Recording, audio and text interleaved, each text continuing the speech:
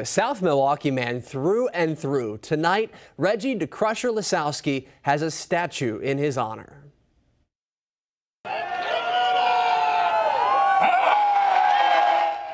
The legendary wrestler is shown here hoisting a keg of beer there on his shoulder.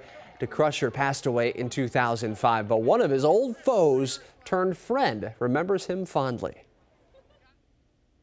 Then after years and years and battle after battle, I started to respect him very, very much. Blow after blow, bolo after bolo. I said, this guy is something else. Boy, the Baron still got it, doesn't he? Organizers said it took just three months to raise the $40,000 needed for that statue.